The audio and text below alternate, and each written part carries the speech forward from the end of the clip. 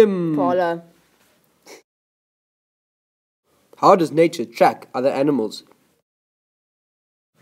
The same gland that releases the chemical. As soon as the animal starts stressing, it releases a chemical from the same gland close to its feet.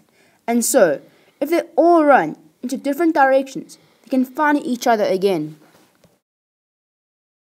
The black spots are the scent glands that are covered by fur. How do they release the chemical?